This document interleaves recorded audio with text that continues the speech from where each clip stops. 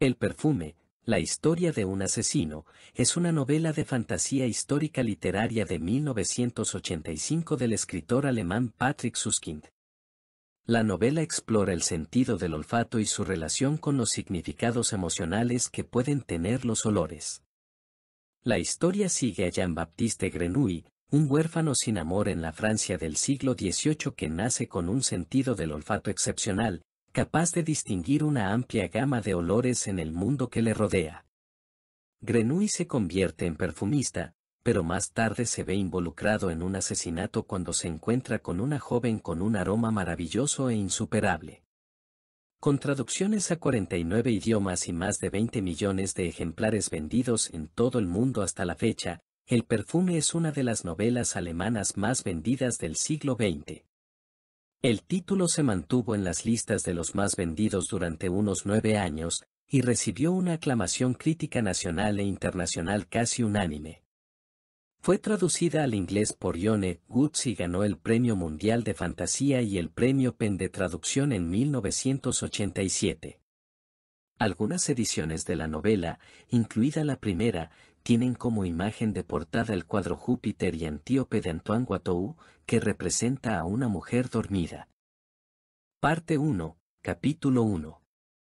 El narrador comienza diciendo que la historia que se va a contar en la novela es la de Jean-Baptiste Grenouille, uno de los personajes más dotados y abominables de la Francia del siglo XVIII. El narrador continúa diciendo que su nombre ha sido olvidado, a diferencia de figuras como Napoleón Bonaparte, no porque fuera menos horrible que cualquiera de las otras abominaciones de la época, sino porque comerciaba con olores, que no dejan rastro. En la Francia del siglo XVIII, todo apestaba de una manera que el narrador considera inconcebible para el hombre moderno. Ricos o pobres, en verano o en invierno, todas las personas y todos los lugares, especialmente París, olían fatal. Sin embargo, el cimetiere de Sinesens, que albergaba 800 años de cadáveres de las parroquias y hospitales de los alrededores, era el que peor olía. Jean-Baptiste Grenouille nace aquí el 17 de julio de 1738. La madre de Grenouille es una pescadera, y Grenouille es su quinto bebé. Todos sus bebés nacieron en su puesto del mercado, aunque ninguno de los otros vivió.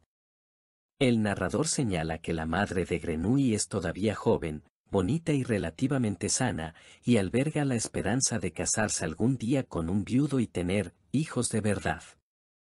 Cuando finalmente da a luz a Grenouille, corta el cordón umbilical con su cuchillo de carnicero y, afectada por el calor y el olor del mercado y el cementerio, se desmaya.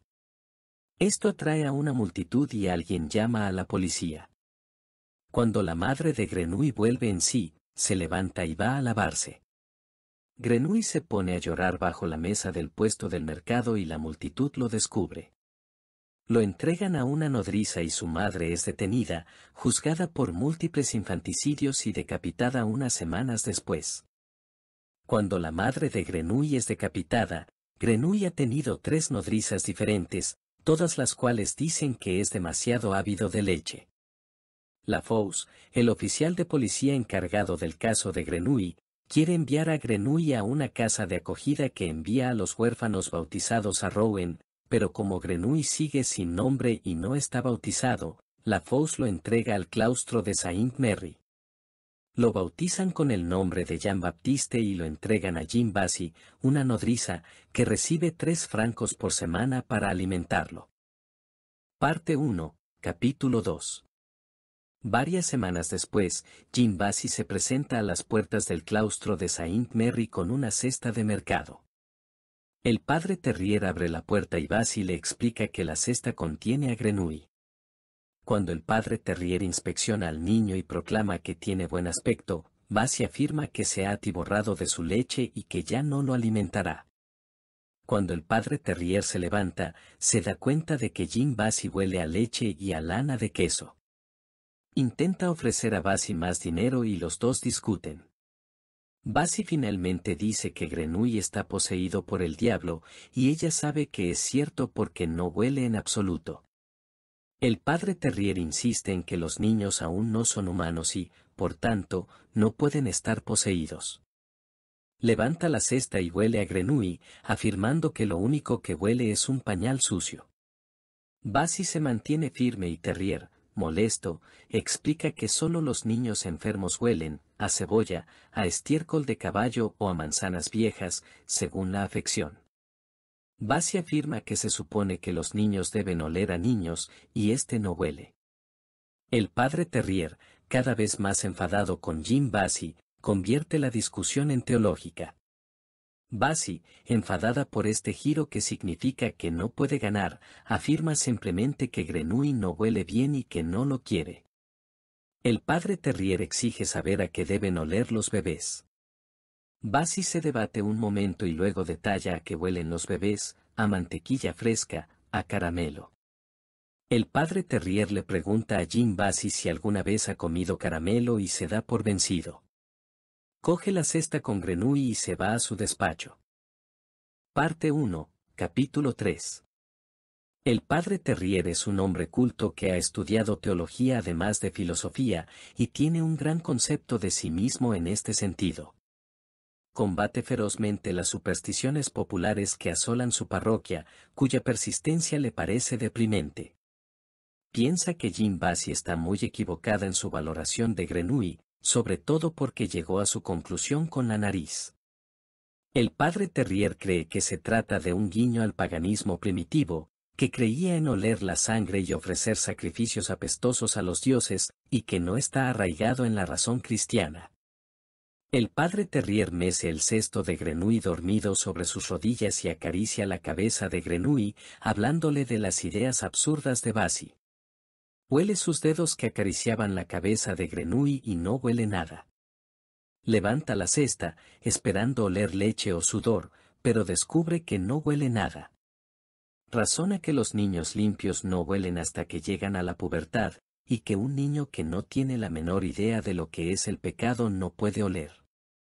El padre Terrier, que sigue acunando la cesta de Grenouille, se entretiene con la fantasía de que no se ha hecho monje, sino que ha tomado una esposa y está acunando a su propio hijo. Se siente especialmente cómodo con esa idea. Grenouille comienza a despertarse, primero con la nariz.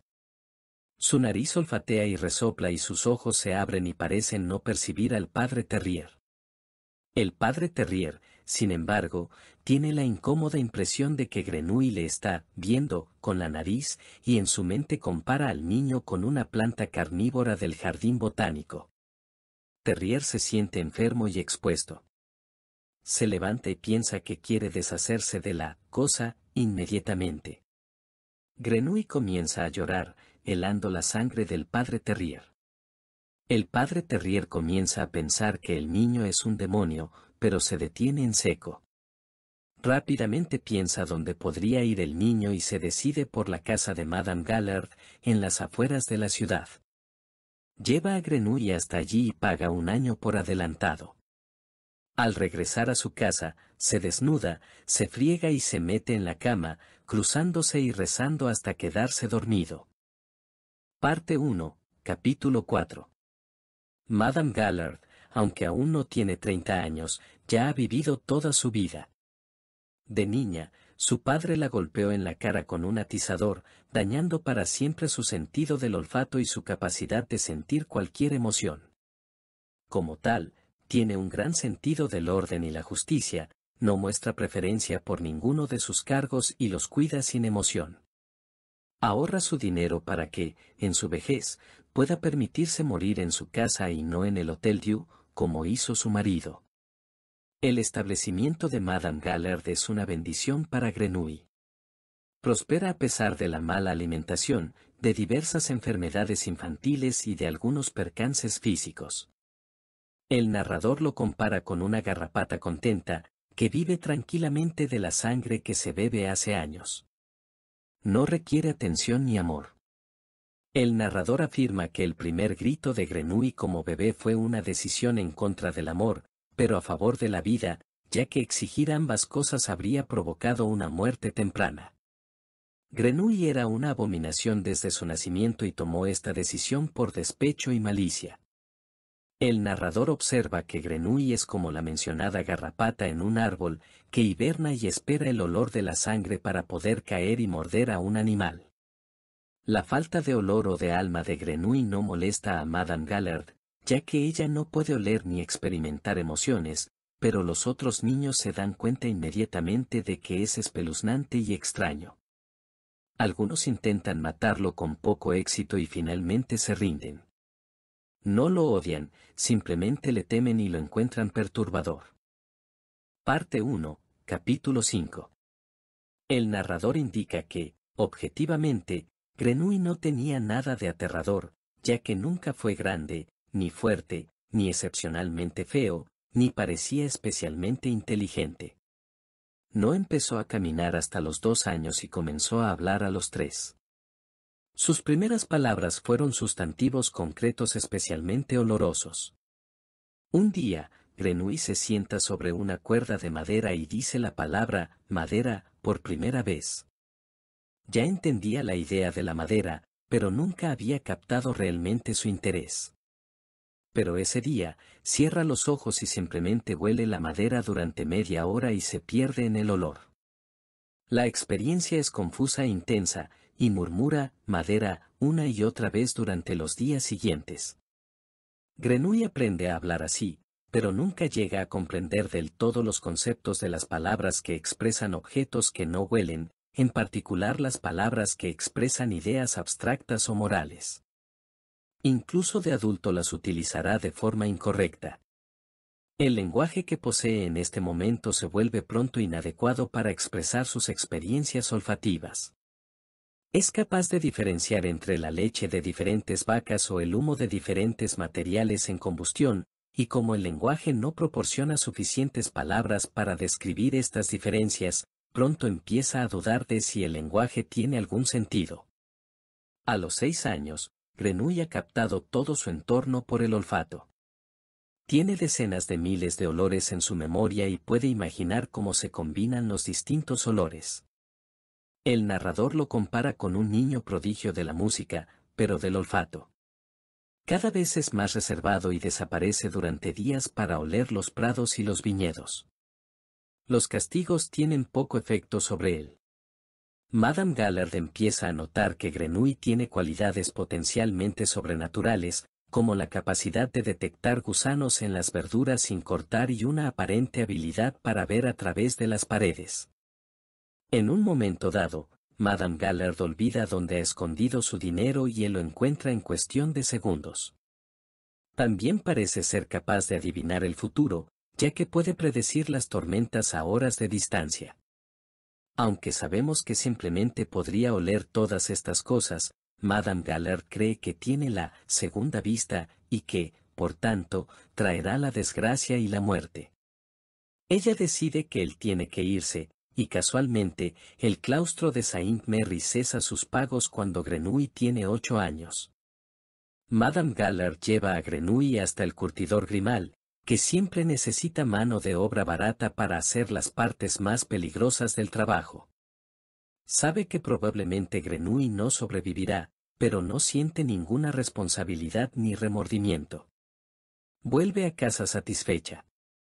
El narrador dice que, ya que Madame Gallard no volverá a aparecer, debemos averiguar cómo muere. Vivió hasta muy avanzada edad, dejó su negocio y compró su renta vitalicia en 1782, y se dispuso a esperar la muerte.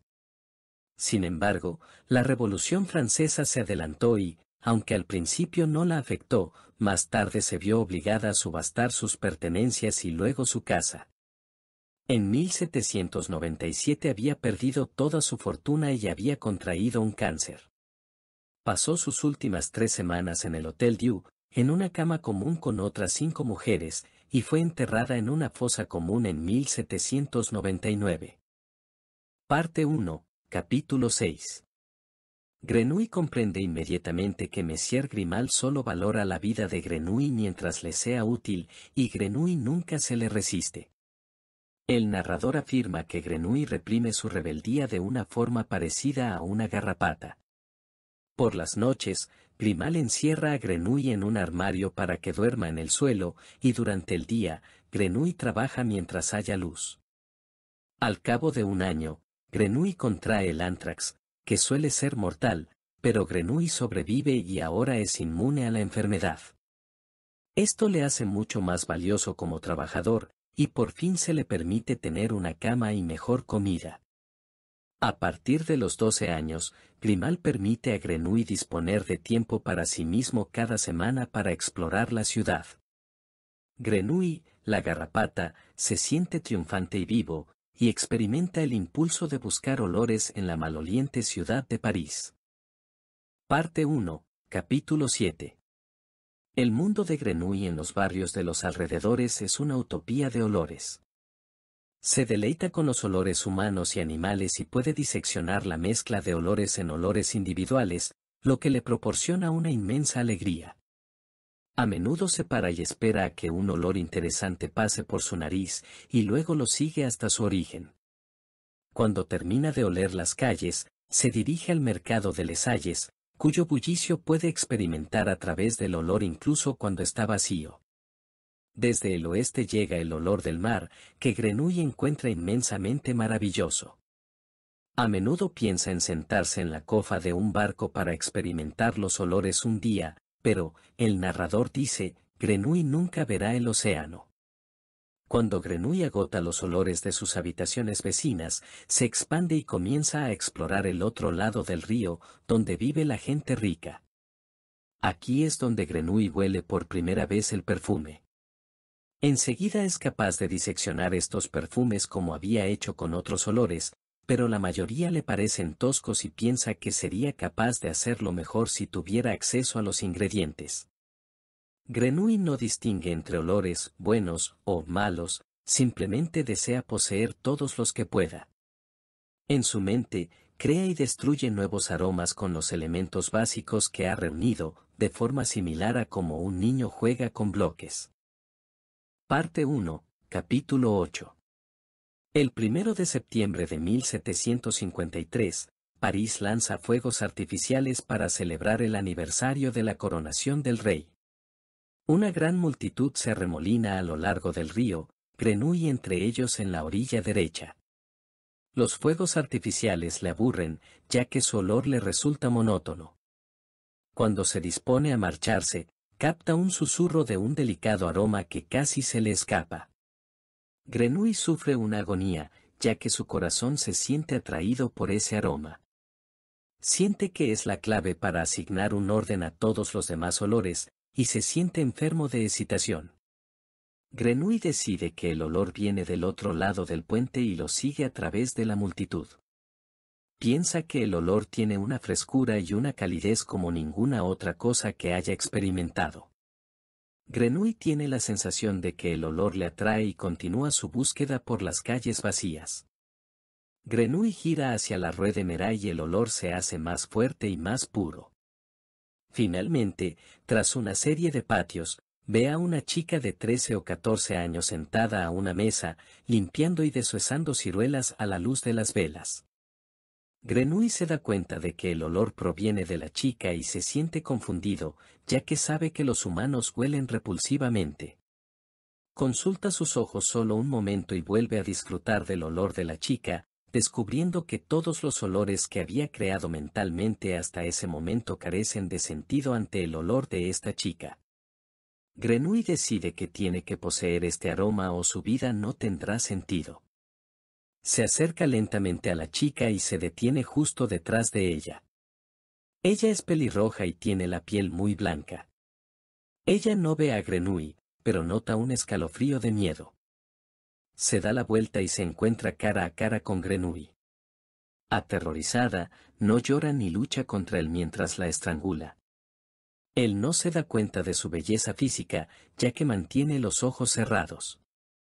Cuando la chica está muerta, Grenouille le arranca el vestido y huele su piel desnuda de pies a cabeza. Cuando su olor se desvanece, se tranquiliza un poco y apaga la vela. Comienza a caminar hacia su casa mientras la multitud de los fuegos artificiales se dispersa. Cuando se descubre el cuerpo de la chica, Grenouille ya ha cruzado el río. Esa noche, Grenouille piensa que su armario es un palacio y no puede dormir por la felicidad.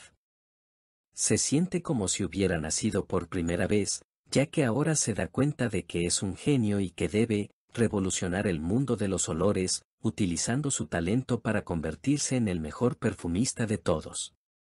Esa noche, Grenouille también se toma un tiempo para inspeccionar y ordenar los olores en su memoria, y durante la semana siguiente perfecciona su sistema. Comienza a construir una fortaleza olfativa interior. Grenouille no siente ningún remordimiento por haber asesinado a la chica, lo único que le importa es que ahora posee su olor. Parte 1, capítulo 9. En la época del relato, dice el narrador, había trece perfumistas en París, seis en cada orilla y uno en el Pont au Change, el puente que une la orilla derecha con la Ile de la Cité. Esta calle era una de las mejores direcciones de la ciudad, y en ella vivía el perfumista Giuseppe Baldini. Baldini permanece inmóvil en su tienda, rodeado de una nube de perfume creada por él mismo. En su tienda tiene miles de perfumes y cosméticos, así como cualquier otra cosa que tenga olor, como miel, atún marinado y papelería perfumada. La tienda de Baldini no tiene bodega, así que los cuatro pisos están repletos de sus productos y la mezcla de todos los olores en la tienda es casi insoportable. Aunque Baldini, sus ayudantes y su mujer ya no detectan los olores, cualquier otra persona que entre en la tienda recibe un intenso golpe de olor. Muchos se desmayan o se vuelven olvidadizos, por lo que cada vez entran menos clientes en la tienda. Parte 1, capítulo 10. Baldini llama a Chenier, su dependiente, y le dice que estará en su estudio y que no debe ser molestado. Baldini le explica que va a crear un perfume para usar en la piel de un conde español, y que éste quiere algo parecido a Amor y Sique, un popular perfume del rival de Baldini, Pelicier. Los dos deciden que el perfume es realmente vulgar y afirman que Baldini ciertamente no se inspirará en el chapucero Pelicier. Baldini se dirige a su estudio mientras Chenier piensa que Baldini, como es habitual, no se dejará llevar por la inspiración, sino que maldecirá y desvariará y creará mezclas terribles, y varias horas después, Baldini reaparecerá y Chenier sugerirá que envíen a alguien a comprar discretamente amor y psique a Pelicier. Chenier piensa que Baldini ya no es un gran perfumista, a pesar de lo grande que había sido antes, y que ya no puede seguir las tendencias actuales. Chenier piensa que es una pena, ya que Baldini seguramente arruinará su tienda y Chenier será demasiado viejo para hacerse cargo de ella para entonces. Parte 1, capítulo 11. En su estudio, Baldini se quita el abrigo. Sabe mejor que Chenier que la inspiración no llegará, como nunca antes. El narrador compara a Baldini con un cocinero competente que hace grandes platos, pero que no ha ideado ninguna receta propia. Baldini no es un inventor y no quiere serlo, ya que no le gustan los inventos porque inventar significa romper las reglas. En lugar de crear un nuevo perfume para el conde, Baldini pretende copiar el amor y psique de Pelicier. Baldini piensa en lo terrible que es que él, un hombre honesto, tenga que hacer algo tan torcido para conservar a un cliente tan importante. La mayoría de sus clientes han dejado de comprarle productos y solo sobrevive vendiendo a domicilio. Baldini atribuye su caída a la imprudente creatividad de Pelicier, que deja a Baldini incapaz de seguir el ritmo de las demandas cada temporada. Baldini desea que se apliquen las antiguas y estrictas leyes del gremio, que castigarían a Pelicier, que ni siquiera es un perfumista formado. Baldini continúa con su desvarío mental y considera la historia del perfume, donde originalmente un perfumista debía dominar el latín y ser capaz de realizar muchas tareas diferentes relacionadas con la creación de perfumes y cosméticos. Sin embargo, una vez que se descubrió cómo ligar el aroma al alcohol, el oficio empezó a escaparse de las manos de los maestros y a caer en las de cualquiera, como Pelicier. Baldini lamenta el cambio de los tiempos, en los que la velocidad es esencial. Afirma que el hombre no quiere quedarse en el lugar que le corresponde, lo que provoca todo tipo de problemas. Baldini también lamenta el auge de los trabajos científicos que postulan, entre otras cosas, que tal vez Dios ni siquiera creó el mundo, ahora las mujeres leen libros y el propio rey se interesa por esas tonterías. Baldini se asoma a la ventana y contempla el río que hay debajo. El narrador afirma que Baldini se equivocó al comprar una casa a este lado del puente, ya que el río parece alejarse de él, llevándose su riqueza. A veces, Baldini cruza uno de los puentes sin edificios y mira el río hacia arriba, imaginando que el río lleva la prosperidad hacia él. Parte 1, capítulo 12.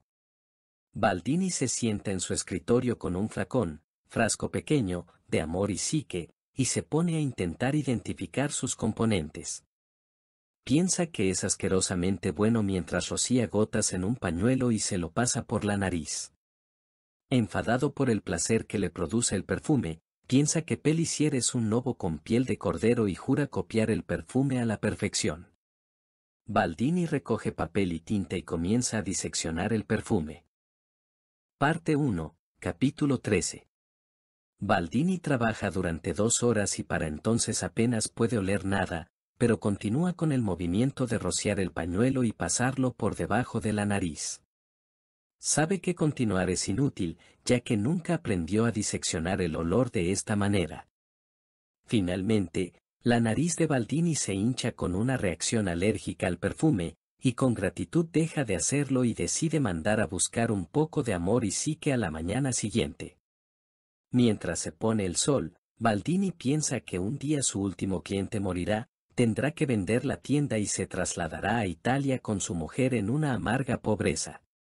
Baldini se acerca a la ventana y la abre, y parece que el río ha cambiado de dirección a la luz del sol que se desvanece. De repente, Baldini lanza el frasco de amor y psique al río. La habitación se llena de aire fresco y la noche cae de repente. Baldini jura que no enviará a nadie a comprar amor y psique por la mañana. Más bien, decide vender su tienda, y de repente se siente muy feliz y relajado. Ahora puede vivir modestamente en Messina vendiendo. Baldini decide decírselo a su mujer y encender una vela en Notre Dame. Se pone la peluca y oye el estridente timbre de entrada de los criados mientras sale de su despacho. Nadie contesta a la puerta, así que Baldini baja a contestar él mismo. Fuera está Grenouille, encogido, con pieles de cabra de Messier Grimal. Parte 1, capítulo 14. Baldini recuerda que se trata de las pieles de cabra del conde. Considera la posibilidad de enviar a Grenouille de vuelta con las pieles de cabra, pero decide aceptarlas. Baldini conduce a Grenouille por la tienda. Es la primera vez que Grenouille entra en una perfumería y, aunque conoce todos los aromas del lugar, anhela verlos de cerca. Siente la seriedad de las estancias y se siente atenazado por la idea de que pertenece a este lugar. El narrador afirma que no hay nada que justifique la pertenencia de Grenouille a este lugar como ayudante del curtidor, pero la garrapata Grenouille había olido la sangre y se estaba dejando caer. Baldini indica a Grenouille que ponga las pieles en una mesa de trabajo. Baldini inspecciona las pieles de cabra y finalmente le dice a Grenouille que vendrá a pagar las pieles en unos días, pero Grenouille no se va. Baldini le pregunta si necesita algo más y Grenouille le dice que le gustaría trabajar para él. Baldini toma la postura encorvada de Grenouille por timidez, cuando en realidad es exactamente lo contrario. Baldini le explica que no necesita un aprendiz de curtidor, y Grenouille le pregunta a Baldini si quiere hacer que las pieles huelan bien con amor y psique de Pelicier. Esto terroriza a Baldini. Grenouille continúa diciendo que Baldini apesta al perfume y que no es muy bueno, y a continuación enumera una lista de elementos que contiene el perfume. Baldini se queda perplejo y piensa que Grenouille está poseído, es un impostor o está muy dotado. Tres de los ingredientes enumerados por Grenouille son, efectivamente, los que Baldini no había podido encontrar antes.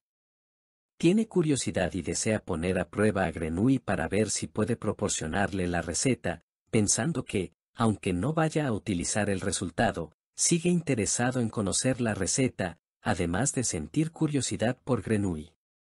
Baldini afirma que Grenouille tiene una nariz fina, y cuando Grenouille responde que tiene la mejor nariz y conoce miles de olores, Baldini grita que eso es imposible, y dice que cualquiera con una nariz pasable podría haber analizado los ingredientes del perfume. Baldini enumera entonces las cualidades de un maestro perfumista y le pregunta a Grenouille si puede proporcionar la fórmula exacta de amor y psique. Grenouille responde finalmente que no sabe lo que es una fórmula. Baldini le explica con severidad y Grenouille afirma que no necesita una fórmula.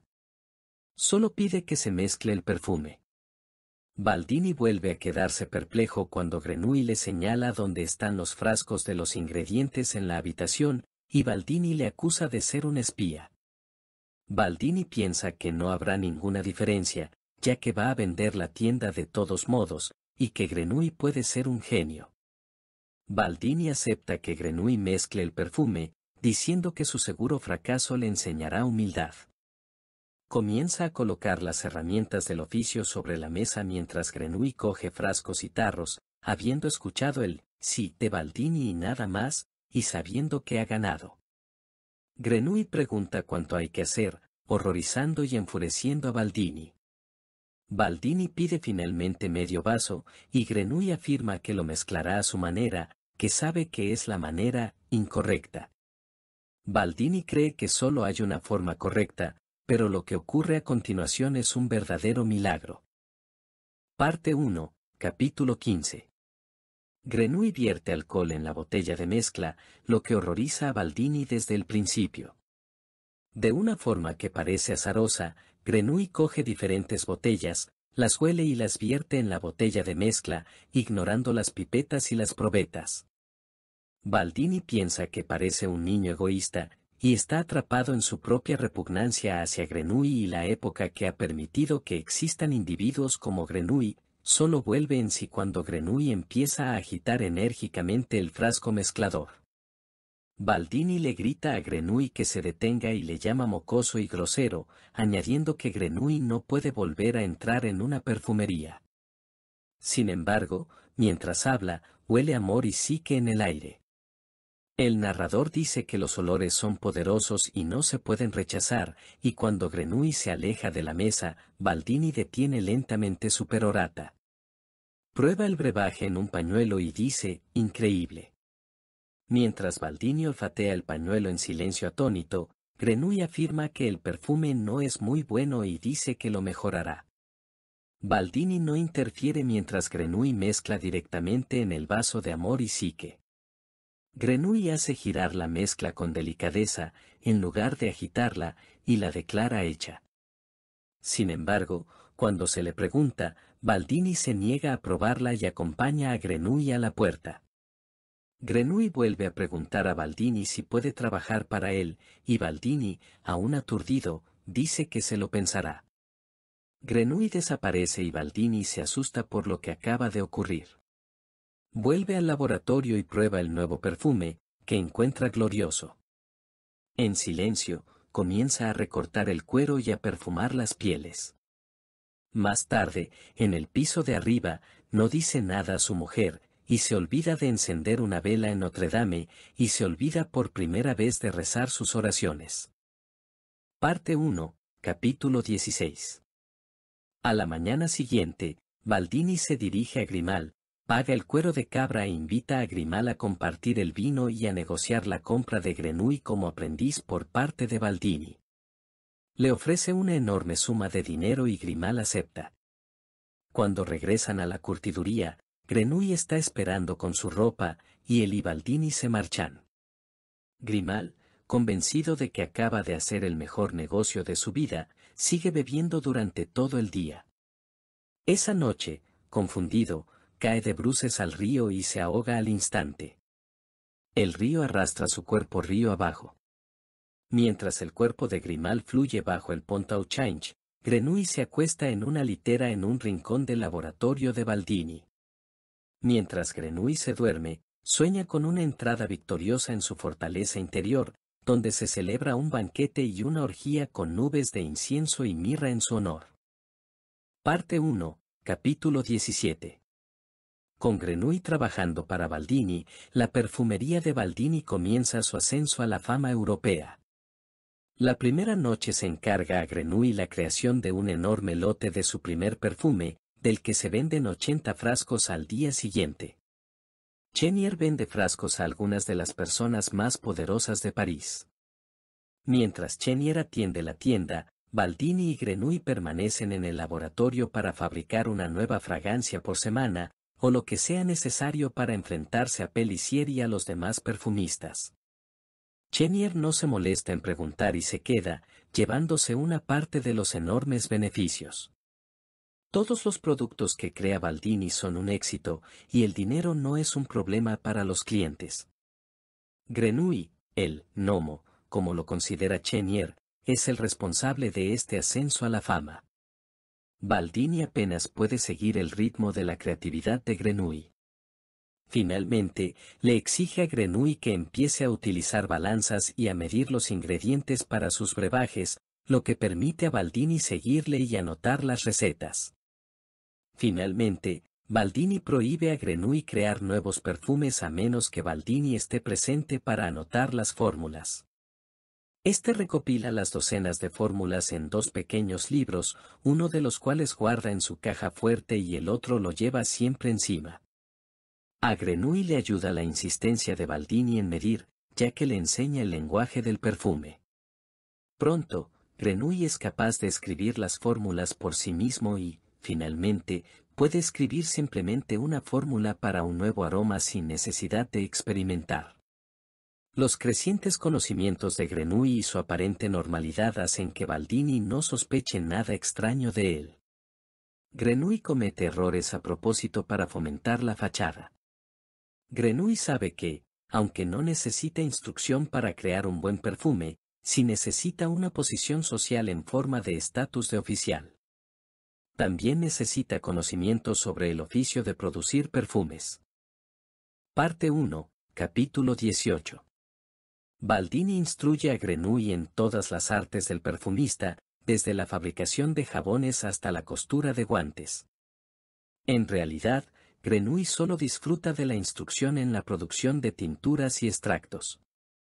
El taller de Baldini no es apropiado para hacer nada de esto a gran escala, aunque solo sea porque es difícil conseguir cantidades suficientemente grandes de una planta en París, pero cuando los materiales estaban disponibles, Baldini sacaba su alambique para destilar el material.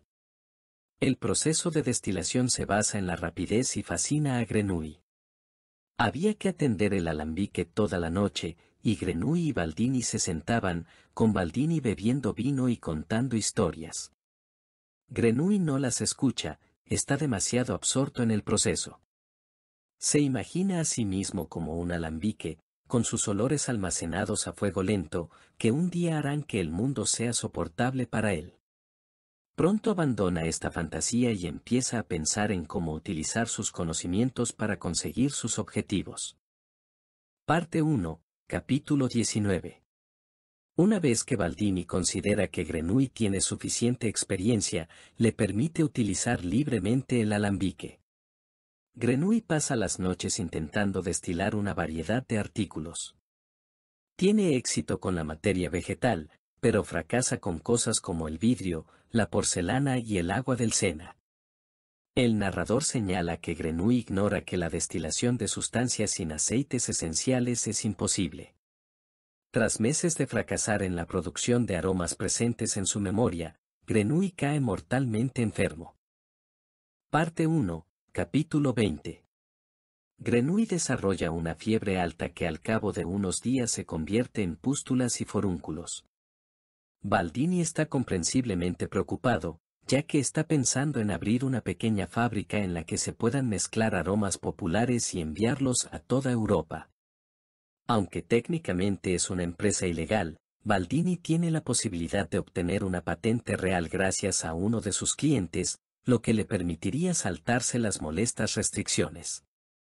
Baldini también se plantea la idea de que Grenouille cree perfumes individuales para unos pocos clientes selectos. En vista de estos sueños, Baldini decide hacer lo que sea necesario para salvar a Grenouille. Grenouille es trasladado a una cama limpia en el piso superior y alimentado con caldo de pollo y vino. Baldini manda llamar al doctor Procope, un médico muy caro. Con una breve mirada, el médico diagnostica a Grenouille una viruela sifilítica, complicada por un sarampión enconado, para el que no hay tratamiento. Curiosamente, el cuerpo de Grenouille no muestra el hedor característico de la enfermedad, pero aún así es probable que muera en 48 horas. Baldini se siente desolado ante este giro de los acontecimientos. Considera la posibilidad de peregrinar a Notre Dame para encender una vela, pero decide, en cambio, intentar tomar la confesión perfumatoria de Grenouille y obtener una última fórmula de su moribundo aprendiz. Baldini le susurra a Grenouille que este último perfume tendrá el nombre de Grenouille grabado en el frasco y será entregado al rey, pero Grenouille no se mueve. Baldini pasa toda la noche sentado con Grenouille. Al amanecer se da por vencido, pero de repente Grenouille habla y pregunta si hay otras formas de extraer el aroma además de la destilación. Baldini, pensando que seguramente esto es el fin, le dice a Grenouille que hay otros tres métodos, y que todos son superiores a la destilación. Dice que estos procesos se llevan a cabo principalmente en Grasse, en el sur de Francia. Baldini se levanta para irse y piensa que debería llamar a un sacerdote, pero el cuerpo de Grenouille ha empezado a curarse. En una semana, está totalmente recuperado. Parte 1, capítulo 21. Aunque a Grenouille le hubiera gustado irse a Grasse en cuanto se recuperara, como aprendiz sigue siendo un don nadie. Baldini explica que, técnicamente, Grenouille es menos que un don nadie, ya que un verdadero aprendiz necesita ser de nacimiento legítimo, entre otras cosas. Baldini dice que si un día decide ayudar a Grenouille a obtener sus papeles de oficial, solo se basaría en el talento y el buen comportamiento de Grenouille, y en la propia amabilidad de Baldini. Esto ocurrirá en tres años. Durante ese tiempo, Baldini logra sus sueños de construir la fábrica, recibe una patente real y comienza a vender perfumes por toda Europa. En 1756, Baldini es el mayor perfumista de Europa. En ese momento, Baldini le dice a Grenouille que lo liberará con tres condiciones. Grenouille no debe producir ninguno de los perfumes que había hecho para Baldini, debe abandonar París y no volver hasta después de la muerte de Baldini, y debe mantener en secreto las dos primeras condiciones. Grenouille acepta sin rechistar, ya que necesita su papel de viajante para viajar y vivir discretamente, y no siente ningún amor por París. El narrador afirma que Grenouille no quiere hacer fortuna con los perfumes, simplemente quiere crear en el mundo real los perfumes que tiene en su mente. Grenouille parte en mayo de 1756 con algo de comida y dinero de Baldini. Baldini, una persona crónicamente amable, no exige más que una pequeña indemnización. Le desea suerte a Grenouille y lo ve partir. Sin embargo, no le da la mano a Grenouille, ya que percibe un peligro infeccioso en él. Parte 1, capítulo 22. Una vez que Grenouille se pierde de vista, Baldini se siente aliviado. Piensa que nunca le ha gustado Grenouille y que todos estos años se ha sentido culpable e incómodo, como si algún día pudiera pasarle factura por la forma en que utilizó a Grenouille. Baldini racionaliza que Dios le perdonará y que otros han engañado toda su vida sin sufrir castigo. Pero con la marcha de Grenouille, Baldini se siente seguro de su fortuna. Se compromete a dar dinero a Notre Dame ese día en agradecimiento. Esa tarde, sin embargo, Baldini oye el rumor de que los ingleses han declarado la guerra a Francia, lo que interrumpe un envío de su perfume a Londres. Esa noche, en la cama, decide crear un nuevo perfume con el nombre de las colonias, que debería compensar la pérdida monetaria que supondrá la guerra. Baldini se queda dormido, para no volver a despertar, mientras el lado oeste del Pont au Change se derrumba y cae al río. Baldini, su mujer y sus edificios son las únicas víctimas, ya que todos los criados estaban fuera. Cuando Chenier regresa borracho, sufre un ataque de nervios al darse cuenta de que ya no podrá heredar la tienda de Baldini.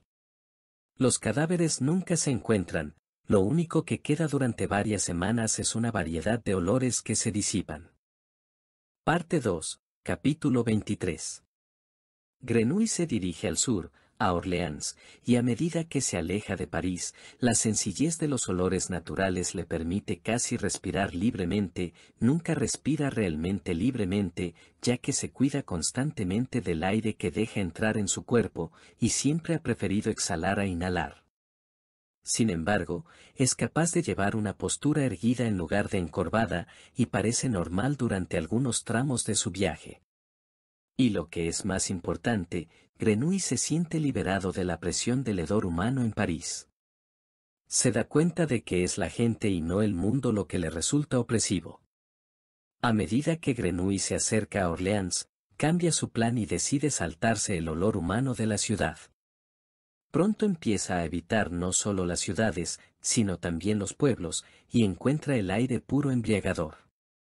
Al cabo de unas semanas, incluso los compañeros de viaje son demasiado para el olfato de Grenouille, así que hace lo que sea necesario para evitar cruzarse con ellos, y finalmente solo viaja de noche.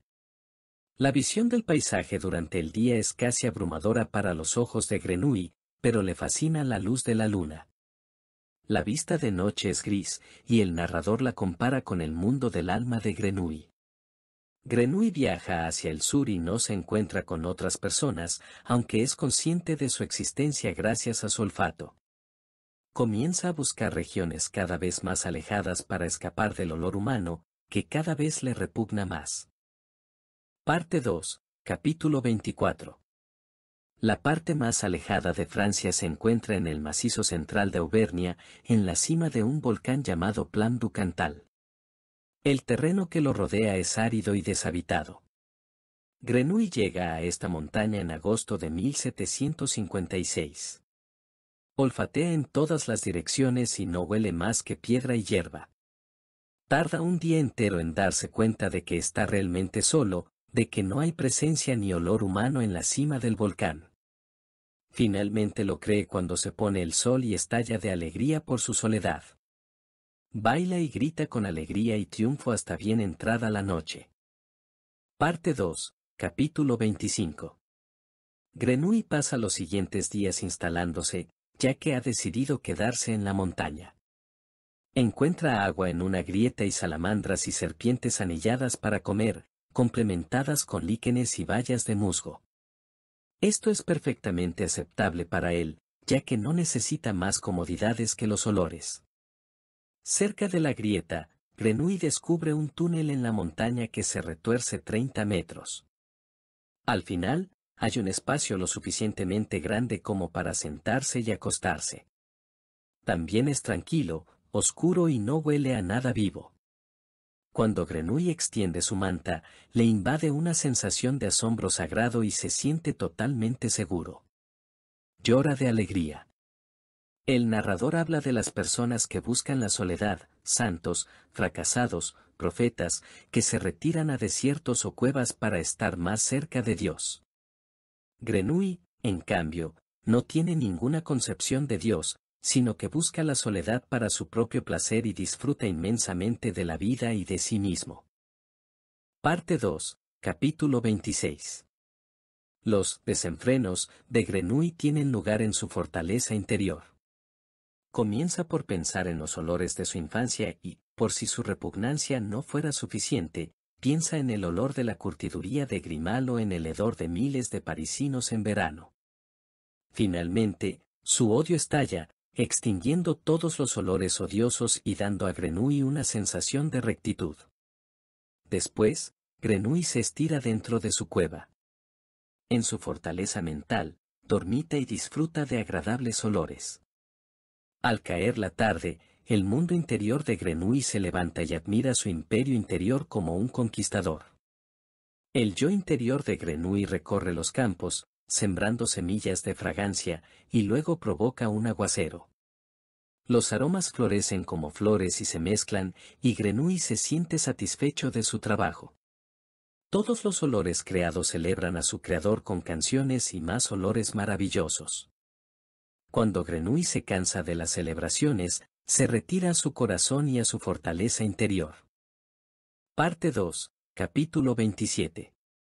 El Grenouille interior, Grenouille el Grande, está cansado después de su día de destrucción, creación y celebración. Su corazón es un castillo púrpura, y en su castillo privado Grenouille simplemente existe como Jean Baptiste en un sofá púrpura en una de las miles de habitaciones. Las habitaciones contienen estanterías del suelo al techo llenas de los olores de Grenouille. En las bodegas se guardan sus mejores olores, embotellados como el vino. Grenouille el Grande llama a sus sirvientes invisibles, y sin olor, para que le traigan botellas de olor para beber. Cuando los sirvientes llegan con la botella de perfume, Grenouille el Grande se sirve un vaso. Cada día, bebe un perfume que recogió mientras estaba al servicio de Grimal, la primera noche que Grenouille salió a explorar París sin permiso. Este perfume es el olor de la libertad y la esperanza. Después de dos copas de este aroma, Grenouille el Grande comienza a leer en los libros los olores que considera repugnantes, principalmente los humanos. Continúa bebiendo, pasando por varias botellas de olor agradable y emborrachándose cada vez más. Finalmente, abre el frasco de olor de la chica de la calle de Merá, su olor más preciado. Cuando se termina la botella, se queda quieto durante un minuto y finalmente cae de lado y se duerme. El Grenouille del mundo real también se duerme. Cuando Grenouille se despierta, lo hace en su cueva y no en su fortaleza o en su imperio interior. Se siente tan miserable como si hubiera estado bebiendo de verdad, y se arrastra fuera de la cueva en busca de agua y comida. Los olores del mundo le resultan excesivamente agudos, y el narrador observa que Grenouille, la garrapata, se ha vuelto extremadamente susceptible. Cuando Grenouille termina de hacer sus necesidades fuera de la cueva, se retira al interior y comienza de nuevo el proceso dentro de su imperio interior.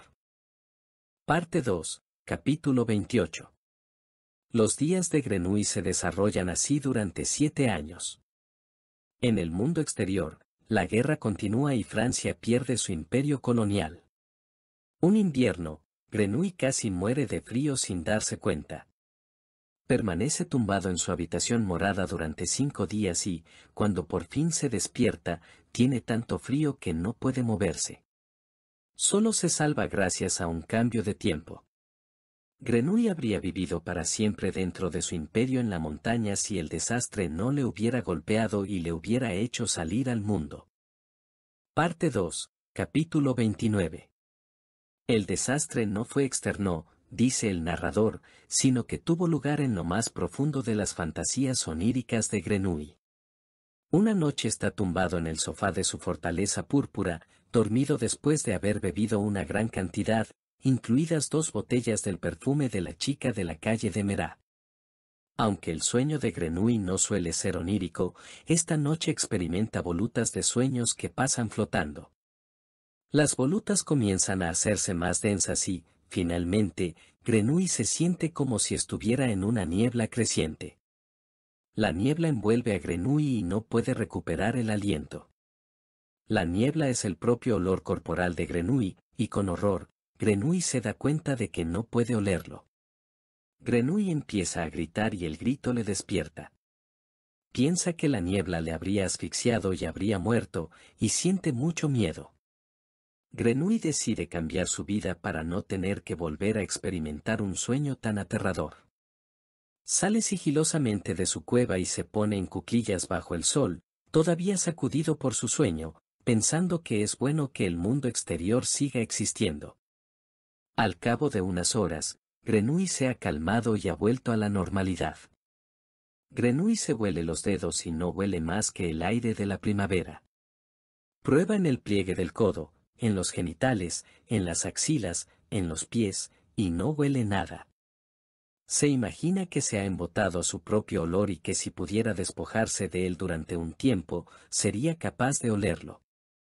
Se quita la ropa, la deja en un montón y sube a la cima de la montaña. Se coloca como un buzo a punto de saltar y deja que el viento le limpie de su olor durante varias horas. Cuando llega la noche, un Grenouille muy quemado por el sol vuelve a su montón de ropa. Realiza la prueba de olfateo que aprendió de Baldini y sigue sin oler nada aparte del mundo natural que ha habitado durante los últimos siete años. Se alarma y tiene miedo. Este miedo no es el mismo que experimentó en el sueño, sino que es el miedo a no saber nada de sí mismo. Decidiendo que debe saber si tiene un olor, Grenouille se arrastra de nuevo a su cueva, luchando contra el miedo de su sueño y el miedo de no saber nada sobre sí mismo. En el fondo de la cueva, se pone en cuclillas durante mucho tiempo y no huele nada más que la cueva. Grenouille asiente para sí mismo, sale de la cueva, se pone la ropa y comienza a dirigirse al sur. Parte 2, capítulo 30. Cuando Grenouille se encuentra por primera vez con otras personas, su aspecto es tan horrible que la gente huye de él gritando. Cuando entra en la ciudad de Pierrefort, es tratado como una curiosidad sensacional y es llevado directamente ante el alcalde. Grenouille presenta sus papeles de oficial y se inventa la historia de que ha sido atacado por ladrones y mantenido cautivo. No es una historia tan descabellada, ya que ataques similares son relativamente frecuentes en la zona. El alcalde transmite su informe al marqués de la Taillade Espinasse, un noble local. El marqués había dejado la vida en Versalles a los 40 años y se había retirado a su finca. Allí escribió importantes obras científicas sobre diversos temas, entre ellos la agricultura experimental. Este tema inspiró las investigaciones del Marqués sobre la relación entre la proximidad a la Tierra y la energía vital, con la creencia de que los seres vivos buscan distanciarse de la Tierra para escapar de los gases venenosos que se concentran a nivel del suelo y más abajo. El Marqués, al enterarse de los últimos siete años de Grenouille, ve confirmadas sus teorías por el horrible estado de Grenouille. Se ofrece a llevar a Grenouille a Montpellier con él para salvarlo del gas venenoso a cambio de dinero. Grenouille y Taillade Espina se realizan el viaje en dos días. El marqués está entusiasmado con la idea de presentar su hallazgo a un público y, cuando llegan, envía invitaciones a las sociedades locales para que acudan a ver a Grenouille. Una semana más tarde, Taillade Espina se da una conferencia ante una gran multitud sobre su teoría del fluidum letale, el supuesto gas venenoso de la Tierra, mientras Grenouille permanece en un estrado como sujeto de investigación. El marqués afirma que Grenouille está más cerca de la muerte que de la vida, y la conferencia es un éxito. Grenouille contribuye al éxito, ya que se siente perfectamente sano, pero finge que no puede hablar por la exposición al gas. De vuelta a la mansión de Taillade Espinassé, Grenouille es encerrado en una máquina de ventilación vital que se supone que rodea a Grenouille con aire de regiones más altas.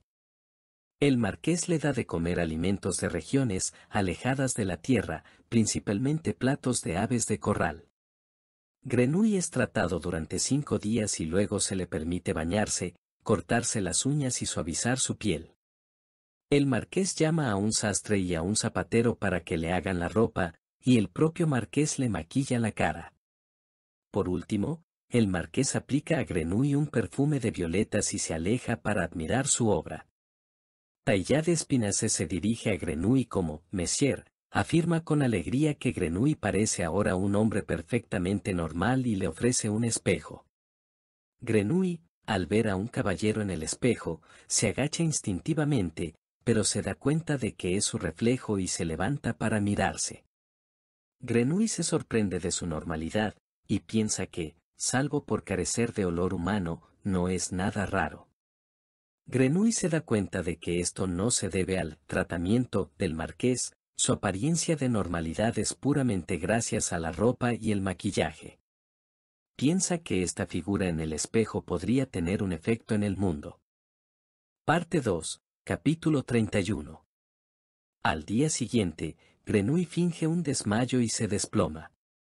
El marqués, completamente fuera de sí, llama a los sirvientes y abanica a Grenouille con un abanico empapado en perfume de violetas. Grenouille se agita y finalmente es capaz de decir que el perfume le matará. Cuando se calma, le explica que el perfume de violeta, aunque encantador, está hecho de raíces de violeta y debe tener un efecto en alguien que sufre de envenenamiento por fluidum letale. Le pregunta si puede inventar un perfume ligero y aireado, diciendo que el nuevo perfume le haría inmune a futuros desmayos. El narrador señala para el lector que el discurso de Grenouille se grabó utilizando el habla correcta, pero en realidad el arrebato de Grenouille fue una erupción de balbuceos, toses y jadeos, acompañados de ojos en blanco. Taillade Espinace, impresionado, piensa que probablemente él también esté infectado por el perfume de violetas. Siente un gran afecto hacia Grenouille por habérselo hecho notar, y pide a gritos a los criados que retiren todo el perfume de violeta de la mansión y que lleven a Grenouille a un perfumista de la ciudad, lo que, según el narrador, es exactamente lo que pretendía Grenouille. En la tienda del perfumista local Runel, que no está bien equipada ni mucho menos, Grenouille se pone a crear el aroma de un ser humano. Grenouille crea una base repugnante para su perfume de heces de gato, queso viejo, huevo podrido y civeta, y luego añade aromas frescos como la menta y el eucalipto, que atenúan el horrible olor. Los olores florales y aceitosos que se añaden a la horrible base huelen a vida. Grenouille crea rápidamente una copia de la mitad floral de su perfume, la mete en frascos y se aplica a sí mismo su primer perfume. Parte 2, capítulo 32. Cuando Grenouille sale del laboratorio, siente miedo de desprender un olor por primera vez.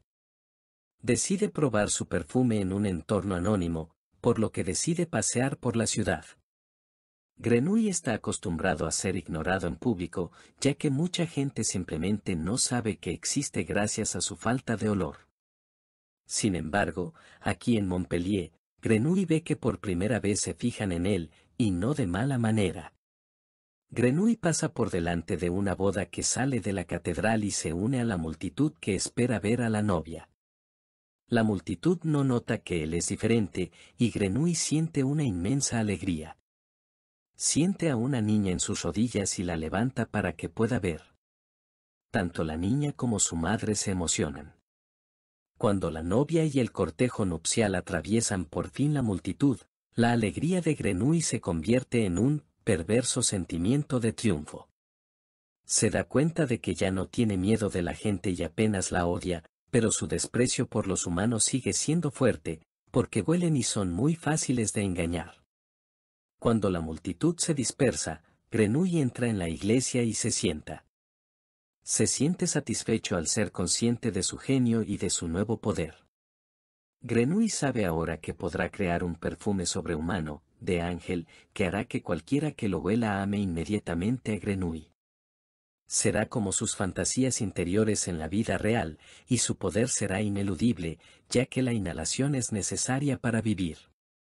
Grenouille se sienta a conspirar y decide que quiere crear este perfume solo porque es malvado. Al inhalar el incienso en la iglesia, Grenouille piensa que Dios apesta y que, o bien está siendo estafado, ya que su incienso en la iglesia no es puro, o bien es un estafador como lo es Grenouille. Parte 2, capítulo 33. Taillade Espinace está encantado con el perfume que Grenouille ha creado para él, y también está encantado de ver el efecto del perfume de tierra en Grenouille, que parece haber adquirido una personalidad en las últimas horas. Una semana después de su primera conferencia, Taillade Espina se presenta a Grenouille en el gran salón de la universidad local. Todo Montpellier, científico o no, asiste y queda sorprendido por la milagrosa transformación de Grenouille. En lugar de escuchar al marqués, Grenouille observa el efecto de su perfume en la multitud. A medida que su perfume llega a la gente, sus rostros se suavizan. Cuando la multitud aclama al marqués al final de la conferencia, Grenouille sabe que los vítores son realmente para él mismo, para Grenouille y para su perfume. Parte 2, capítulo 34. Grenouille, tras haber alcanzado cierta fama en Montpellier, se queda durante varias semanas. Cuenta a menudo su historia de haber sido capturado por ladrones, lo que le proporciona cierta práctica en la conversación, que nunca ha sido el punto fuerte de Grenouille, y, sobre todo, le permite practicar la mentira.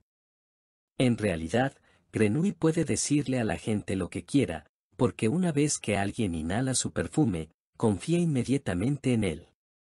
El efecto de esto es que Grenouille se vuelve confiado en las situaciones sociales. En marzo, Grenouille sale de la ciudad sin ser visto, ya que ese día va sin su perfume. Taillade Espina se hace averiguaciones, pero finalmente dice que Grenouille se fue para ocuparse de la familia en París. Sin embargo, está secretamente molesto, ya que había planeado hacer desfilar a Grenouille por todo el país para promover su teoría, pero su fama aumenta de todos modos.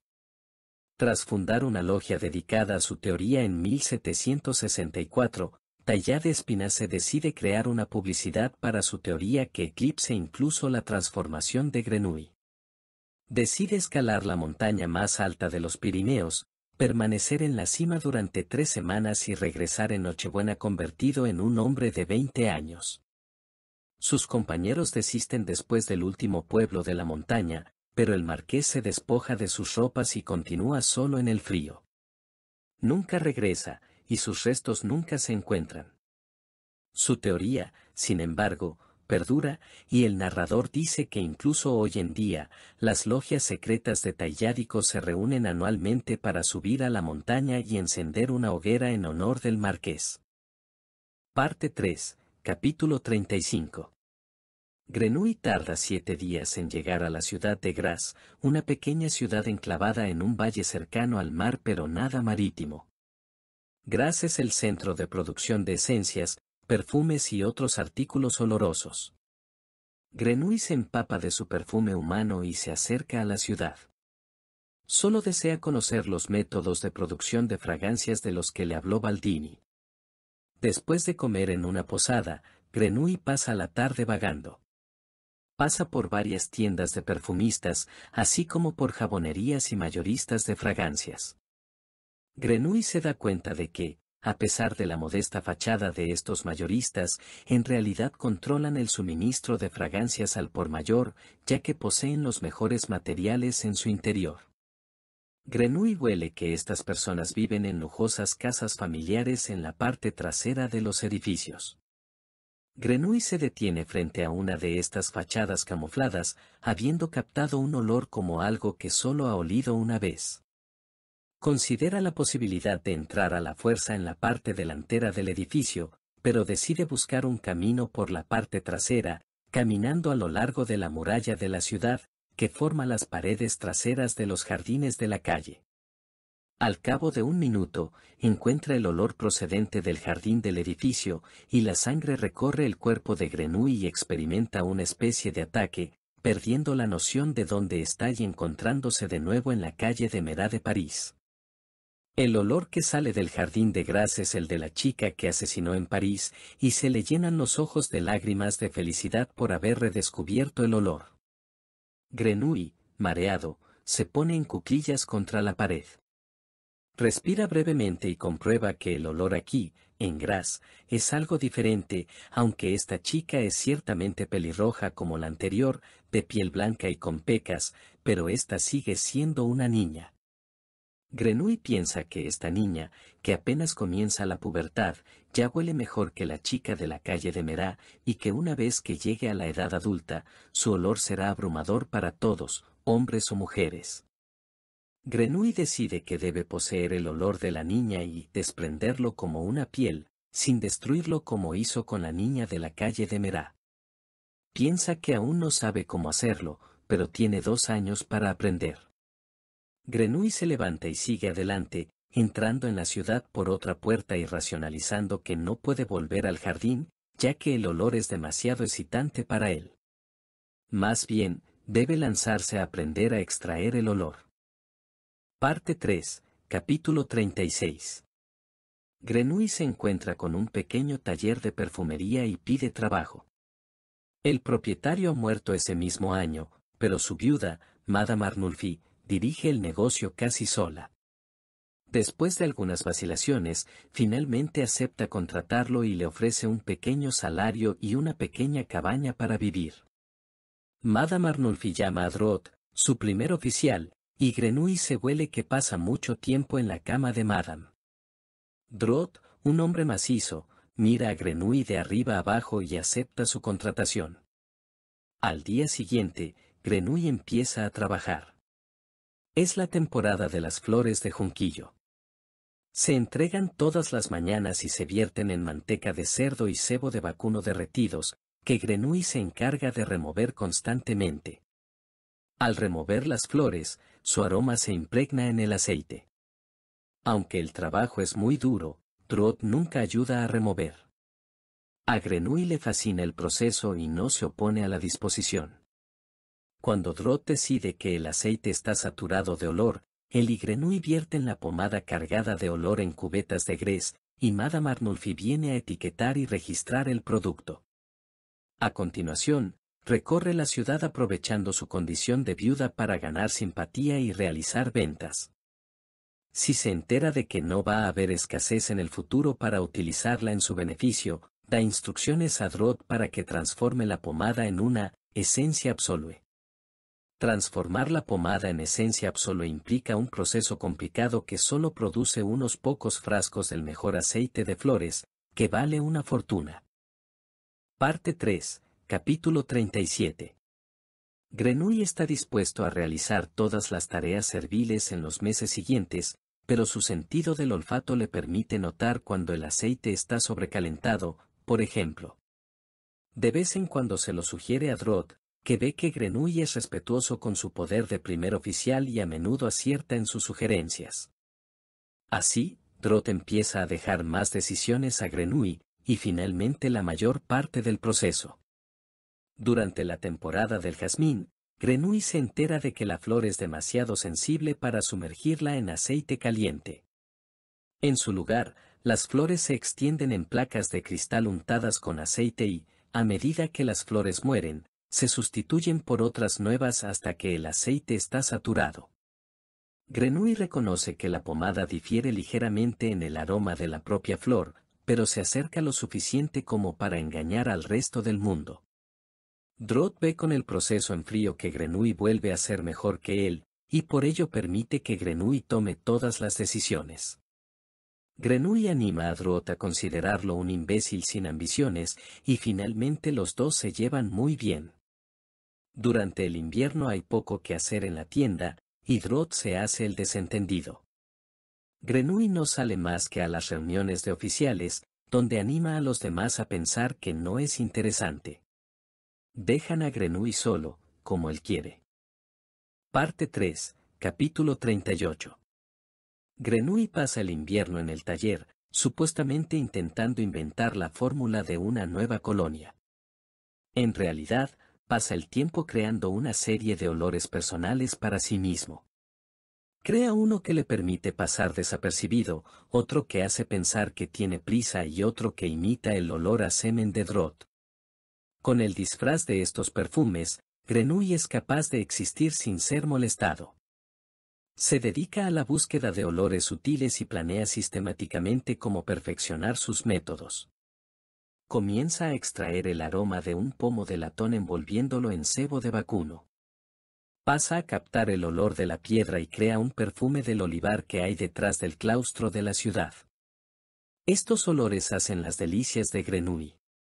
A continuación, Grenouille pasa a los sujetos vivos.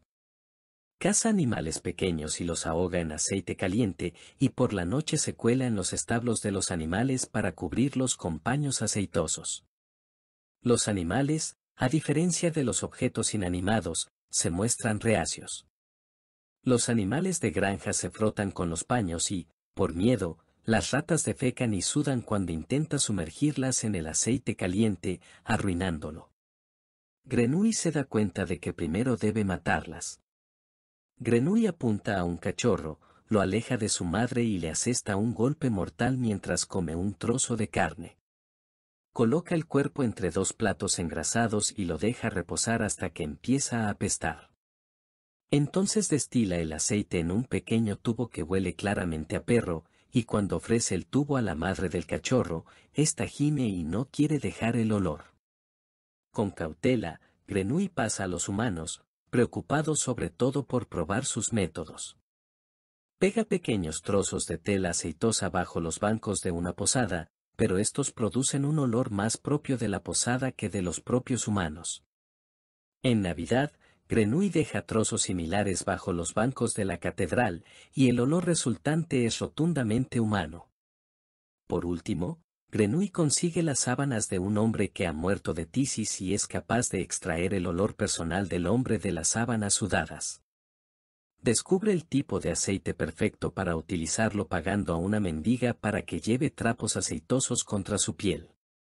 Se detiene en eso, ya que su verdadero objetivo es extraer el olor de los humanos que inspiran amor. Parte 3, capítulo 39. En enero, Madame Arnulfi se casa con Drott, que es ascendido a maestro perfumista y guantero, aunque la señora mantiene su nombre y el control de las finanzas. En marzo, Grenouille decide ver cómo evoluciona el aroma de la misteriosa chica. Se siente abrumado por la fragancia cuando la capta, y de nuevo se sitúa frente al muro del jardín. Más que intoxicado, Grenouille se siente feliz como un enamorado. No ama a la chica en sí, solo su olor, pero jura que llevará a casa su aroma en un año. Esa noche, en su cabaña, Grenouille piensa en el olor de la chica y se sumerge en él. Sin embargo, cuando empieza a dormirse, el olor desaparece y Grenouille se aterroriza. Se pregunta qué ocurrirá cuando se le acabe el aroma, pensando que tendrá que vivir con el conocimiento de que en algún momento poseyó el perfume. Se pregunta para qué necesita el perfume. Al pensar en ello, Grenouille siente escalofríos y se pregunta cuánto tiempo podrá conservar el perfume. Quiere salir y hacer el camino hasta su antigua cueva, donde podría quedarse dormido y morir, pero se resiste al deseo, ya que es un deseo conocido. Sin embargo, poseer y luego perder un olor es desconocido, y razona que parece más deseable. Grenouille, la garrapata, después de haber razonado para dejarse caer por última vez, se echa atrás y se cree heroico. Grenouille continúa su línea de razonamiento y considera cómo hacer que el perfume de la chica dure más tiempo. Finalmente ve que utilizar el perfume en estado puro es burdo y poco sofisticado, y decide que debe engarzarlo como la más preciosa de las piedras preciosas en un entorno de otros aromas, y para ello necesita otros ingredientes. Parte 3, capítulo 40. En mayo, un campesino descubre en un campo de rosas el cadáver de una joven de 15 años desnuda, asesinada de un golpe en la nuca. El asesino le ha rapado el pelo y se ha llevado su ropa. Los habitantes de Gras sospechan de los gitanos, a pesar de que no hay gitanos en la zona desde diciembre, así que pasan a sospechar de los trabajadores inmigrantes italianos, y luego de otros grupos. Cuando los italianos llegan para contratarse para la recolección, los contratan pero los tratan con cautela. Poco después, dos jóvenes italianas aparecen asesinadas de la misma manera que la primera chica. El miedo se extiende como un reguero de pólvora. Los agricultores permiten a los trabajadores inmigrantes dormir en sus graneros, se establecen patrullas en los barrios y se impone un toque de queda a las mujeres después del anochecer. Sin embargo, todas estas medidas resultan ineficaces, ya que una joven es asesinada semanalmente a lo largo del verano. Todas las chicas son hermosas y se acercan a la feminidad, en su mayoría morenas y azucaradas. Quien puede permitírselo envía a sus hijas lejos de Gras. El teniente de policía es sustituido y su sucesor hace examinar los cuerpos de las víctimas. Se descubre que todas son vírgenes, lo que aumenta la sensación de horror. El Consejo Municipal pide al obispo local que excomulgue al asesino y, a finales de septiembre, el obispo lo hace y los asesinatos cesan inmediatamente. El asesino había matado a 24 niñas.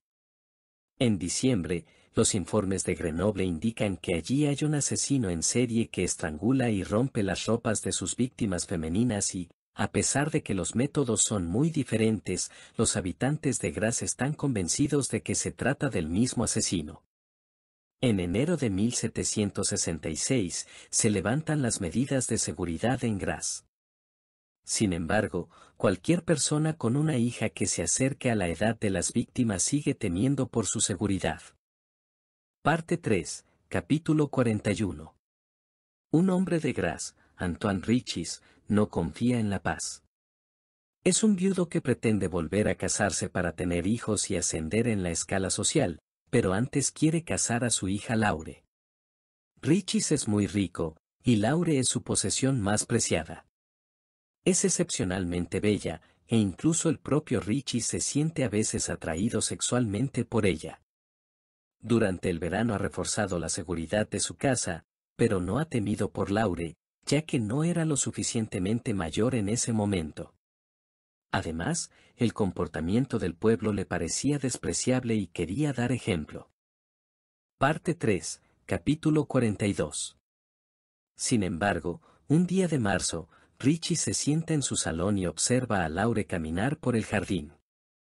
Ella desaparece detrás de un seto y tarda un momento en reaparecer, asustando a Richis. Esa noche tiene un sueño terrible en el que encuentra a Laure asesinada en su habitación. Irrumpe en la habitación de Laure para encontrarla dormida y viva, y regresa a su dormitorio. Richis piensa que nunca creyó el rumor de que el asesino había abandonado el pueblo y decide que seguramente sigue por ahí. Richis también piensa que el asesino tiene un sistema, ya que todas las víctimas son hermosas y jóvenes. Decide que las víctimas forman parte de un gran plan para montar un cuadro de belleza absoluta, y concluye que Laure debe ser la joya de la corona y la última víctima del asesino.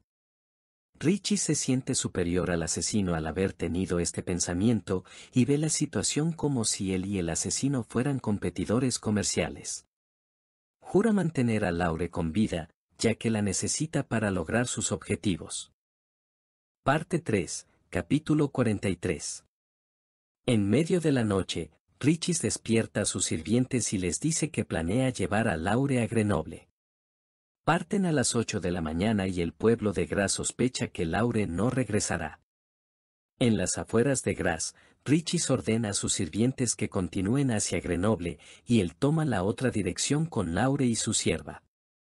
Richis planea esconder a Laure en el monasterio de Saint-Honorat y luego arreglar su matrimonio con el hijo de un varón con la condición de que ambos se casen en diez días y consumen su matrimonio el día de la boda. Richie sabe que el precio de casarse así con Laure será más alto que si espera un poco más, pero también sabe que el hecho de que Laure esté casada y posiblemente embarazada la salvará del asesino. El narrador dice que, aunque el plan estaba bien pensado y la lógica de Richie es sólida, Richie y Laure viajan demasiado despacio para que Laure se considere segura todavía. Parte 3, capítulo 44. Mientras Laure y Richis abandonan la ciudad, Grenouille está en el taller de Arnulfi procesando junquillos, de buen humor porque tiene 24 frascos de los perfumes de sus anteriores víctimas, y planea poseer el último aroma hoy. Planea colarse en la casa de los Richis sin llevar perfume, y luego colarse en el dormitorio de Laure esa noche para asesinarla. Grenouille termina su trabajo hacia el mediodía y sale al exterior. Al oler el aire, sabe que Laure no está y entra en pánico momentáneamente. Drott vuelve de comer y menciona de pasada que Richis y su hija se han ido a Grenoble esa mañana. Grenouille sale corriendo por una de las puertas del pueblo y huele el olor de Laure que viene en dirección contraria a Grenoble. Grenouille corre a su cabaña, recoge sus provisiones y sigue el olor de Laure hacia el sur. Atrapa rápidamente a los fugitivos. Al anochecer, Grenouille se dirige a una posada y dice que es un curtidor oficial, y le ofrecen un puesto en el granero. Dos horas después, Richis y Laure llegan a la posada. Al enterarse de que hay un curtidor durmiendo en el granero, Richie sale a inspeccionar al hombre y lo encuentra durmiendo. Más tarde, esa misma noche, Encierra a Laure en su habitación desde el exterior y se va a la cama, satisfecho de cómo se están desarrollando los acontecimientos. Parte 3, capítulo 45. En la caseta del granero, Grenouille comienza a extender la pasta aceitosa sobre el lino fino, haciéndola más gruesa en los lugares donde recogerá más olor. Cuando termina, dobla la tela, recoge sus otros suministros y sale del granero. Encuentra una escalera, la apoya contra la ventana abierta de Laure y sube. Grenouille observa a Laure mientras duerme durante un minuto y luego la golpea en la nuca. Odia el sonido, pero cuando termina, la habitación está completamente silenciosa, ya que Laure ha dejado de respirar. Grenouille abre su paño, corta el camisón de Laure y la enrolla en el lino aceitado. Solo sobresale su pelo. Durante seis horas, Grenouille permanece despierto y observa a Laure desde un sillón, cubierta con su vestido. Se felicita por lo bien que van las cosas. Grenouille no piensa en el futuro, más bien, piensa en su pasado con satisfacción. Decide que el destino le ha sonreído al permitirle cosechar el aroma de laure, y se agradece a sí mismo ser lo que es. Cierra los ojos y, en un momento dado, toca el pie envuelto de laure con su propio pie. Parte 3. Capítulo 46. Antes del amanecer, Grenouille se levanta y retira la tela del cuerpo de Laure. Raspa los últimos restos de grasa de su piel y la limpia, recoge su camiseta, su camisón y su pelo, y los enrolla con la tela. No vuelve a mirarla mientras se arrastra por la ventana. Una sirvienta se da cuenta de la escalera un rato después, pero no le da importancia. Horas más tarde, Richie se despierta a la luz del sol, después de haber dormido profundamente por primera vez en meses. Se viste y va a despertar a Laure. Ella no contesta cuando él llama a la puerta y la abre. Cuando abre la puerta, la habitación está reluciente y Laure está muerta, desnuda y sin pelo, y Richie recuerda su anterior pesadilla. Parte 3, capítulo 47. La noticia de la muerte de Laure se extiende por Gras. El miedo del verano anterior vuelve con fuerza, y esta vez es más aterrador porque la excomunión del obispo evidentemente no ha funcionado. Se decide que el asesino debe estar aliado con el diablo. La gente reza en la iglesia, los grupos de ocultismo se unen y los sabios emplean la ciencia. Todos esperan la próxima víctima del asesino. Las autoridades, sin embargo, no se dejan arrastrar por la histeria, sino que los pueblos vecinos se unen para atrapar al asesino. Temen que se produzca una revuelta civil, sobre todo porque el asesino ha sido avistado esta vez. Se detiene a varios individuos tras la publicación de órdenes de detención y se ofrece una recompensa por Richis. Grenouille no es uno de los sospechosos originales. Finalmente, sin embargo, Grenouille es detenido. La policía registra su cabaña y encuentra el pelo y los vestidos de Laure y de las otras chicas, así como el garrote de Grenouille. Parte 3, capítulo 48. Al principio, los habitantes del pueblo no creen que se haya capturado al asesino, pero una vez que el pueblo muestra los vestidos y el pelo, insisten en ver al propio asesino.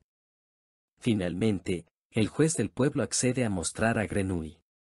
Cuando aparece, la multitud se queda en silencio, pensando que ese hombre no puede ser un asesino. Sin embargo, una vez que Grenouille es devuelto a su celda, la multitud se enfurece y exige la sangre de Grenouille. El proceso contra Grenouille avanza rápidamente debido a las abrumadoras pruebas y a su libre confesión de culpabilidad. Cuando se le pide un motivo, Grenouille dice simplemente que necesitaba a las chicas. Es sometido a torturas y, cuando su respuesta no cambia, el juez lo considera loco. En abril, a Grenouille se le lee el veredicto, que establece que será ejecutado en 48 horas. Lo colgarán en una cruz y le romperán las articulaciones, y lo dejarán sufrir y morir. Se envía a un sacerdote para que escuche la confesión de Grenouille, pero no consigue nada. Durante los dos días siguientes, la gente acude a ver al asesino y los guardias obtienen pingüis beneficios. Los guardias no permiten que nadie entre en la celda ni ofrezcan comida a Grenouille, pues temen que alguien lo envenene. El patio de armas se prepara para la ejecución. Se construye un patíbulo y una tribuna para los nobles. Los vendedores se abastecen de sus productos. Monsieur Papón, el verdugo, hace construir una barra de hierro cuadrada con la que golpear al prisionero.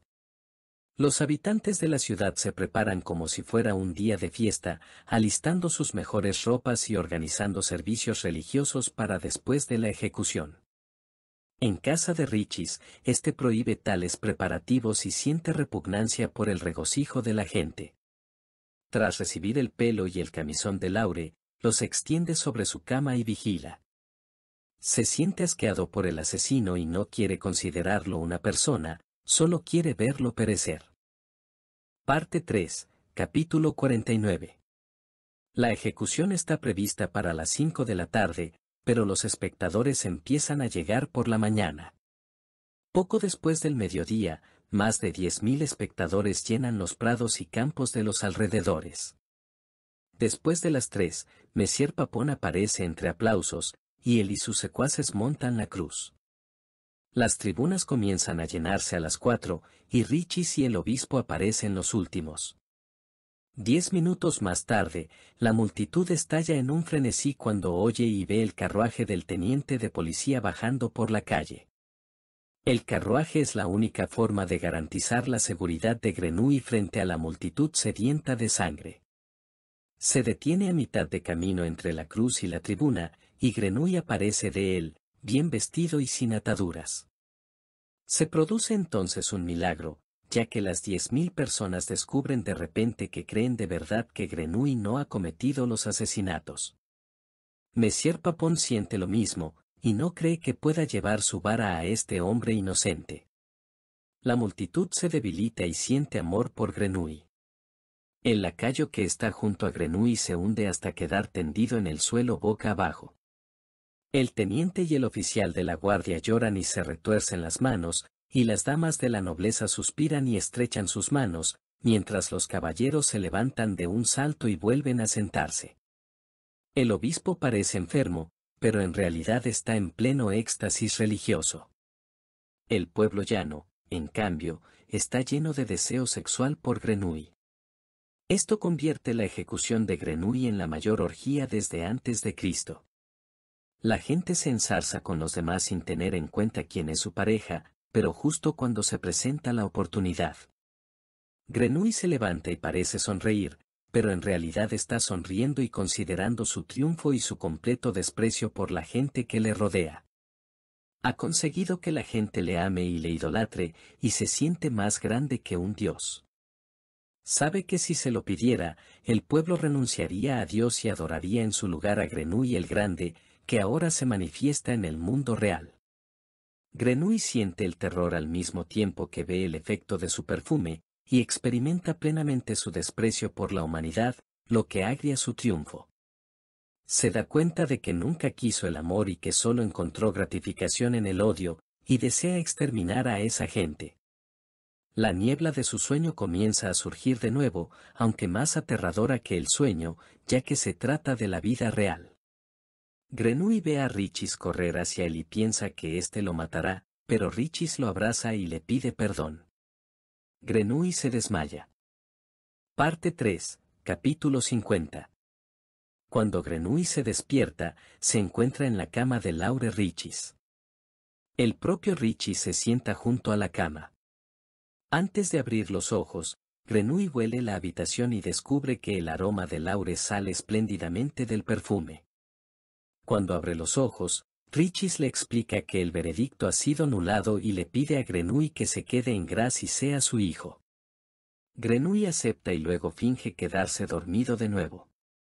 Grenouille finge dormir hasta que no huele a nadie más en la casa, y entonces se levanta y sale por la terraza pasa por el patio de armas y contempla las formas de la gente borracha y dormida, medio expuesta por las fiestas del día anterior.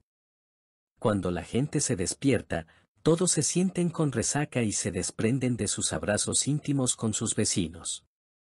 Todos regresan a sus casas y no salen de ellas hasta la noche o el día siguiente. El ayuntamiento se reúne y decide desmontar el cadalso y la tribuna. Los jueces y magistrados se reúnen y cierran el expediente de Grenouille, y al día siguiente detienen a Drot, ya que es el propietario de la cabaña donde se encontraron los cabellos y la ropa de las víctimas. Confiesa tras 14 horas de tortura y lo ahorcan al día siguiente. Gras vuelve a la normalidad y todo el mundo se olvida de que el incidente ha ocurrido. Parte 4, capítulo 51. Grenouille viaja de noche. Cuando pasa por el plan Ducantal se plantea volver a la cima de la montaña, pero decide que la vida allí en soledad, al igual que su vida con la gente, es invivible. Quiere ir a París y morir. Grenouille todavía lleva un frasco de su perfume. Solo usó una gota en Gras, y sabe que podría esclavizar al mundo con lo que le queda. Sin embargo, Grenouille se da cuenta de que, aunque el perfume puede inspirar amor en los demás, no puede hacer que él mismo se huela, y si no puede conocerse a sí mismo a través del olor, la vida no merece la pena. Piensa que él es la única persona a la que el perfume no puede esclavizar. El 25 de junio de 1766, Grenouille entra en París a primera hora de la mañana. Es un día caluroso y París ya apesta. Grenouille deambula y se instala cerca del cimetière de Sinesens, observando el paisaje de tumbas y huesos. Después de la medianoche, cuando los sepultureros se van, el cementerio cobra vida con asesinos, ladrones y prostitutas. Grenouille abandona su escondite y se une al grupo alrededor de una hoguera. Grenouille destapa su perfume y se lo echa por encima. Por un momento, el grupo retrocede asombrado, pero luego se sienten atraídos por Grenouille. Lo rodean y finalmente comienzan a atacarlo y a desgarrarlo. Le cortan con cuchillos, dividen el cuerpo de Grenouille y se lo comen. En media hora, Grenouille desaparece por completo. Cuando los caníbales se reúnen de nuevo después de su comida, no dicen nada en su vergüenza. Se alegran y luego se enorgullecen, y se sonríen mutuamente, sabiendo que por primera vez han hecho algo por amor.